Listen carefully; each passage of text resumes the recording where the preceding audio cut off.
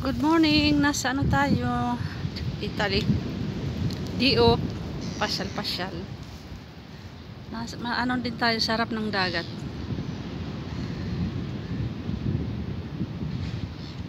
Ang lakas ng alon. Marami din mga standby dito na ta- taga ano, taga Africa. Diyan sila natutulog sa labas. Mga refugees. Marami dito sa ano, sa 20 milya. Kaya minsan delikado na ring mag ano, pasyal dito ngayon. Lalo na paggabi.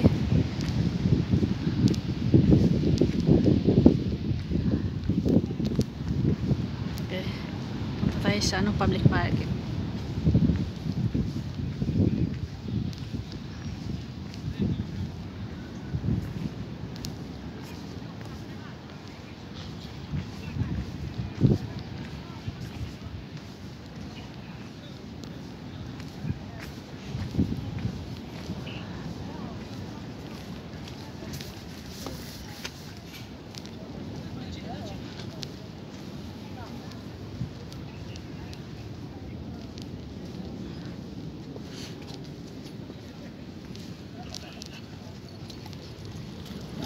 Kulin.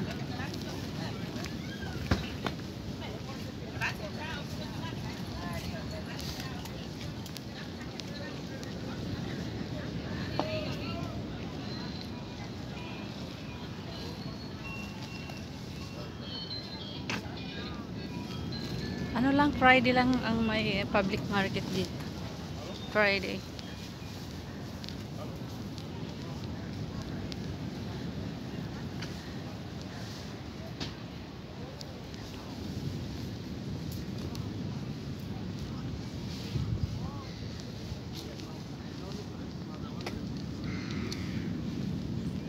Buongiorno. No. Guarda solo. Dami. Tingin-tingin lang tayo.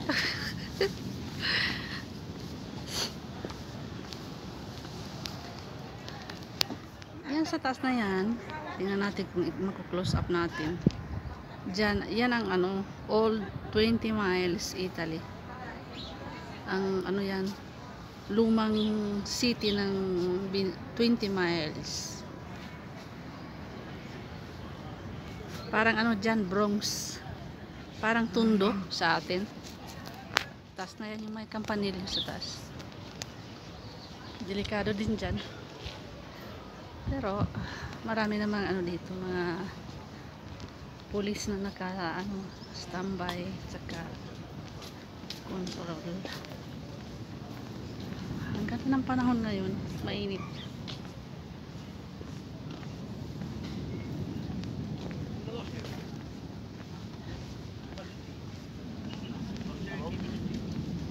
Harap, may araw. Ko. Marahabo ata itong video natin. Malikot.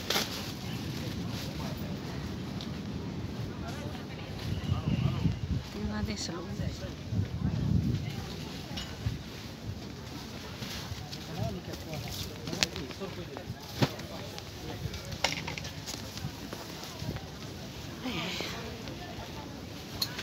Mga ano na pang winter season na yung mga ano nila.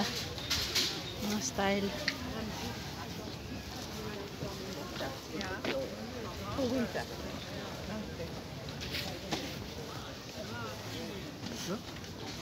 What?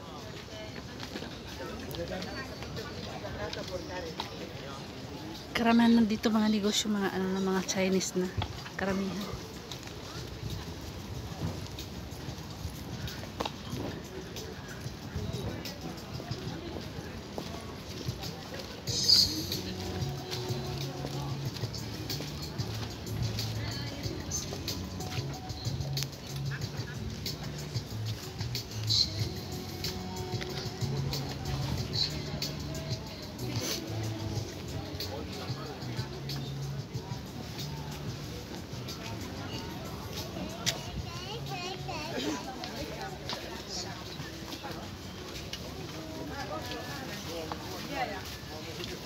Bags na yan.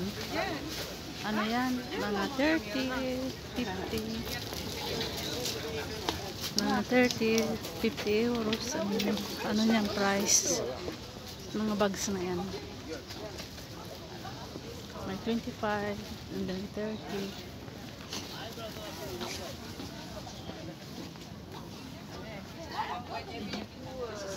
Yan mo yan, yan mo lang.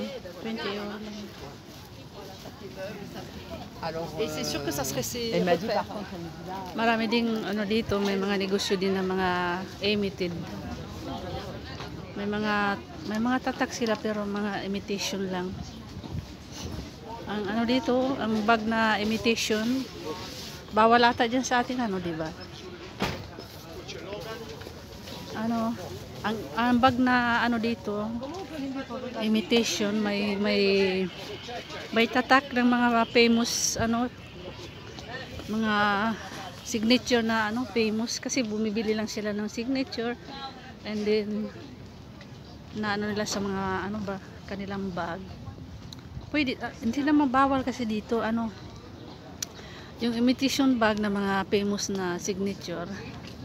Ano yan 300 400 500 ganun.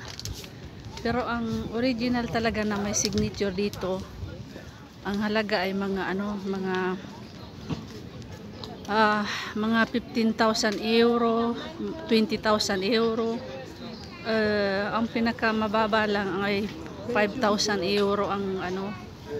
May signature na yan ha original. 10,000 mga ganon euro ah pero pag imitation lang ano 300 400 euro ganun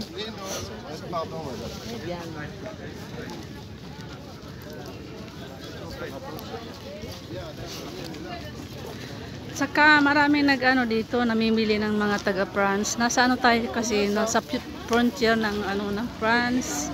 Kaya karamihan dito na namimili mga mga France.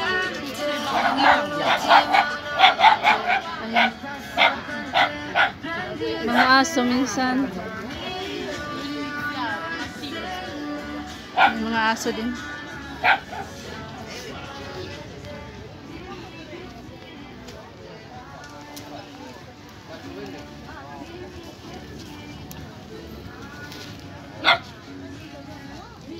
Ayaw ko ng ano, layo kasi doon sa ang layo. Ano tayo, balik na tayo.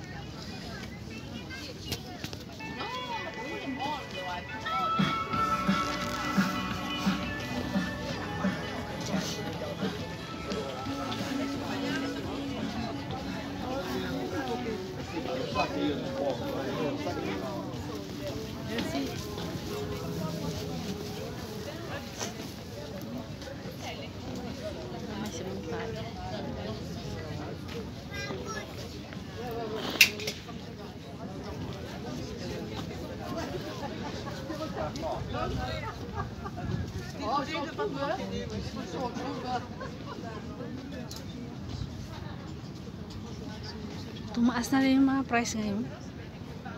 Yung ano, yung 10 euro noon.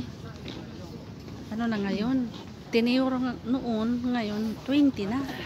Tumaas kasi yung mga ano, mga price ngayon. Lahat ng mga bilihin tumaas na kaya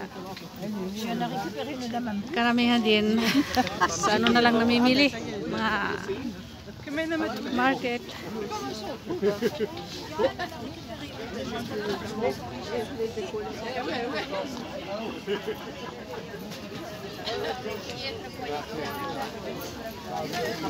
Ed Douris.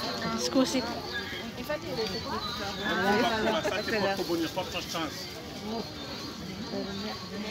Ça sent 5 saucissons. Deux femmes, cinq elle a l'air de dire que plutôt que de manger mga